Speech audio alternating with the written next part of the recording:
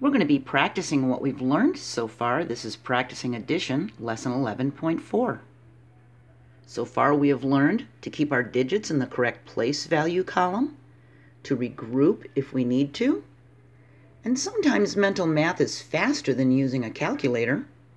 We've learned we can use basic addition facts to add hundreds, and we've learned to label our answers for word problems and to look for clue words to help us choose the correct operation. There's going to be links to these videos in this video's description, so you could just go right to them, all right, if you haven't seen them yet. So here we have a word problem. Dave has 138 sheep. Bob has 186 sheep. How many sheep do they have all together? Well, the first thing we need to do for a word problem is identify the important numbers. Dave has 138 sheep. Bob has 186 sheep. Then we need to look for clue words that tell us which operation to use, and I see the clue word altogether, and that tells us we need to add. We're going to add 138 plus 186. We add the ones and regroup if needed. We have 8 plus 6, that's 8. 9, 10, 11, 12, 13, 14. We regroup the 1 to the tens place and write the 4 from the 14 in the ones place. We add the tens and regroup if needed. We start with the large number 8 and then count up 9, 10, 11, 12. We regroup the 1 and put the 2 from the 12 down here. And now we just add the hundreds, 1, 2, 3. That gives us 324, and we make sure we label our answer. 324 what? 324 sheep. That's what they have all together. See? see if we can add these using what we've learned. We have 328 plus 127. We start with the ones place. 8 plus 7. 8, 9, 10, 11, 12, 13, 14, 15. We regroup the 1 from the 15 into the tens place and write the 5 in the ones place. We add the tens place. 2 and 2 is 4 and 1 is 5. And we add the hundreds. 3 plus 1 is 4.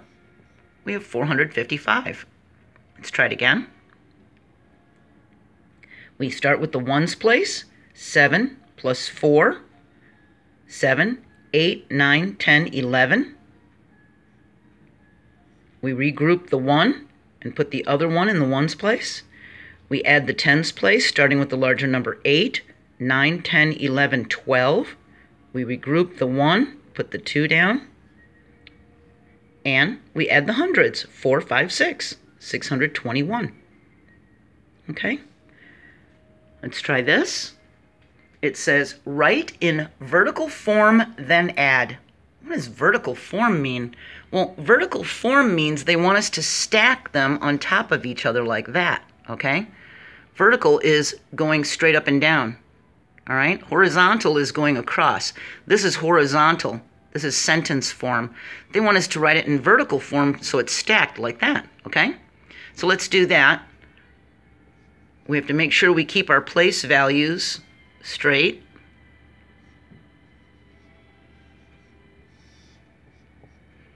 Okay? We add the ones, 9, 10, 11, 12, 13, 14. We regroup the 1, put the 4 down. We add the 10s. 4 plus 1 is 5, 6, 7, 8. That gives us an 8. And we add the hundreds, 6. 5 plus 1 is 6. We have 684. Okay?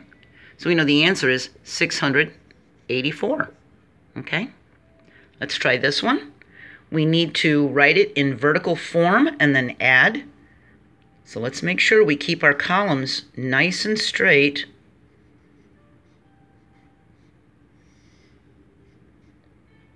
Six plus four is 10. We regroup the one and put the zero down. We add the tens, eight, nine, 10.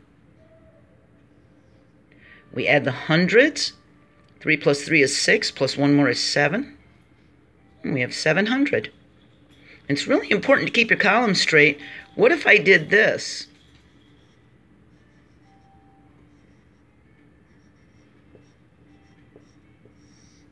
See? It'd be hard to add it, wouldn't it? It's like it's all in the wrong place. So you want to make sure that you have all your columns lined up nice and straight, nice and pretty, okay? Let's try this one. And this one will really explain what I'm talking about. We need to write it in vertical form and then add. So we start with the 479, and we need to add 95. So where is the 9 going to go here? Or, I mean, what do we do? Well, remember, a 95 means there are five ones and nine tens, right? And that's the ones place. So that's where the 5 is going to go, into the ones place. And there's nine tens in a 95, so the 9 is going to go in the tens place. See? There's no hundreds here, right? So the 95 is going to be written like that under the tens and ones of the 479. Now we can add it. 9 plus 5 is 9, 10, 11, 12, 13, 14. We can actually look at this as the 5 is a 4 plus 1. You can do this when you're adding in your head. So we can add the 9 plus the 1 to get a 10, and then add the 4. So we end up doing 10 plus 4. See? That helps us do mental math quicker. So it's 14. Now, we can look at these numbers and say, well, you know what? A 9 and a 1 makes a 10. So these are compatible, aren't they? The 9 and the 1 are compatible numbers that make a 10, and then we can add the 7, and that's 17. That's a lot easier than adding 9 plus 7 and then adding the 1. See? So we look for 10s. Here's 10, 9 and 1. Then we add the 7, we have 17. We regroup the 1, put the 7 down. 4 plus 1 is 5. We get 574. See? There's all different ways to add numbers. There's all different ways to solve problems, okay? All right, let's try this one. We have 572, and we need to add 49. So to make sure we put the 49 in the correct place values, we know that means four tens and nine ones, right? So we need it to go in that place value, four tens and nine ones. Now we can add. There's no hundreds here. See? There's no hundreds there. Now we add the ones place first, 9, 10, 11. We regroup the 1, put the 1 down. We add the tens, 7, 8, and 4 is 9, 10, 11, 12. We regroup the 1, put the 2 down, and 5 plus 1 is 6. 621. Okay? So when you're adding a three digit number to a two digit number, ask yourself where's the ones place, where's the tens place, so you know to line it up with the three digit number. Okay?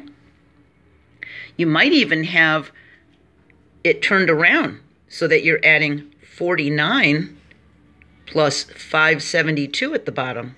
This is okay too. There's problems like this where the smaller number is on the top. It's okay. This is the ones, this is the tens, this is the hundreds. And that's what you add together, okay? So you'll come across problems like that. It's no big deal. You could do it, all right?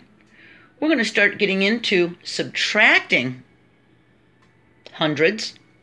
And we're going to be using our basic math facts, okay? So just remember, if you missed any of these videos, this playlist goes in order from the beginning of the school year to the end of the school year. And these are all things that we've learned so far. So if you've missed them, you can click on the description to watch them. And maybe you can watch all the videos after that in order so that you have help during the school year. Okay? All right. I hope you hit the like button if this video helped you, and I'll see you next video. Bye.